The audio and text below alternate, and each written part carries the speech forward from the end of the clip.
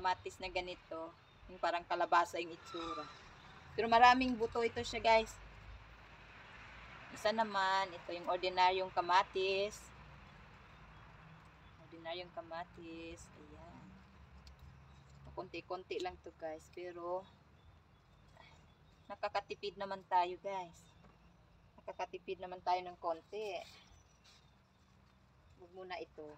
Yung mga malalaki na ano, nakuha ko na. Next time naman itong iba. Ito. Ito, ibang klase din to guys. Medyo ma makapal yung ano niya, laman niya. Tapos medyo matigas. Ito, oh. Yellowish, yellowish yung color niya. Ayan. Kamatis. And may talong din dito. May talong. Magdugo pa. Tapos, pa isang talong. Isang talong. Diba guys, nagka-mix yung ano.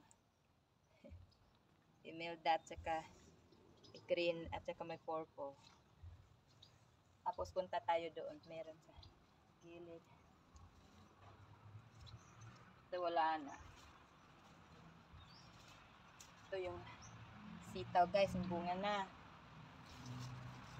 Ito. Hindi man siya umakyat doon sa pinakaakyatan ko. Ito lang naman dito. Ayan. Ting sitaw. Bataw, sitaw, patani. Kaya lang wala pa tayong kondol at patula. Ayan. Yung ating mga kalabasa, later na natin yan i-harvest. Pero malapit na rin guys. Ito oh, umakyat rin lang dito sa saging. Tapos may coming na naman tayong ibang kamatiseses. Tingnan natin guys, meron dito. Napay taong dari guys, ang talong. Wow! Putol, kaya nagdagunting. Naputol. Guys, dapat taong dari. Atong tao. Ito pa to isa guys, kaya gamay-gamay pa.